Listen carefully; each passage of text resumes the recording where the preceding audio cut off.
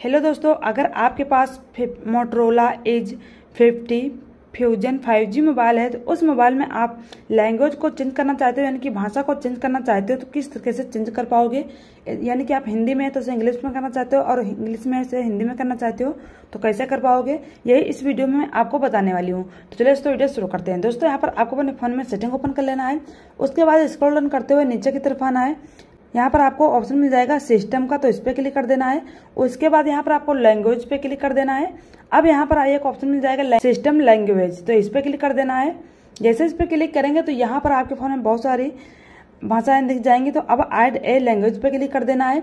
इस पर क्लिक करने के बाद दोस्तों, यहाँ पर देखिए आपको जो लैंग्वेज भाषा में चेंज करना चाहते हो, उस पर क्लिक कर देना है। जो आपको क्लिक करके दिखा देती हूँ तो यहाँ पर हम जो है भारत पे क्लिक कर देते हैं।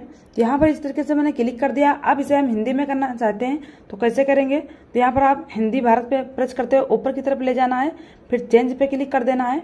जैसे इस पर क्लिक कर देंगे तो यहाँ पर जो है सब हिंदी में हो चुका है। अब इंग्लिश में करना चाहते हो तो कैसे करेंगे? आपको इंग्लिश वाले पे फिंगर को रखना है और ऊपर की तरफ़ प्रेस करना है। जैसे प्रेस करेंगे, फिर यहाँ पर आपको बदले पे क्लिक कर देना है। जैसे इस पर क्लिक कर देंगे तो यहाँ पर जो इंग्लिश में हो चुका है।